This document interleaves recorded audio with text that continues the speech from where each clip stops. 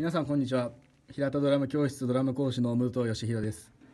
え今回はですね、えースネア思想シリーズの、えー第1作目として、えーこちらのスネアドラムを紹介していきたいと思います、えまずこの、え見慣れないメーカーだと思うんですけれども、え名前がですねアービターと呼ばれる、えメーカーになっております。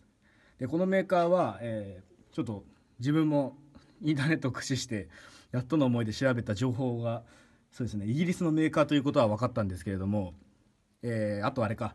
ヤマハの方で代理店を何年か前にやってたみたいでそれで、えー日本にはいくつか入ってきてるみたいなんですけれども正直見たことありません。はい。どんなスペックかと言いますと、えーテンションボルトが1個しかありませんね。普通テンション、えーボルト締めるのに上にこうたくさんいっぱいボルトがついてるんですけれどもこちらの方がちょっと特殊な機構になってましてここの1点でチューニングをすると。あこっちじゃなかったですね。こっちです。こっち側ですね。ここにチューニングボルトがありましてえここでチューニングキーでこれを締めるとこの枠全体が、えー締まりましてここのテンションがかかると、はい、いうことになってるみたいです。はい。というわけでアービター。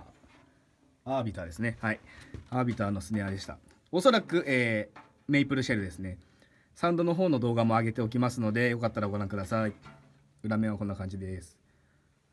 それでは失礼します。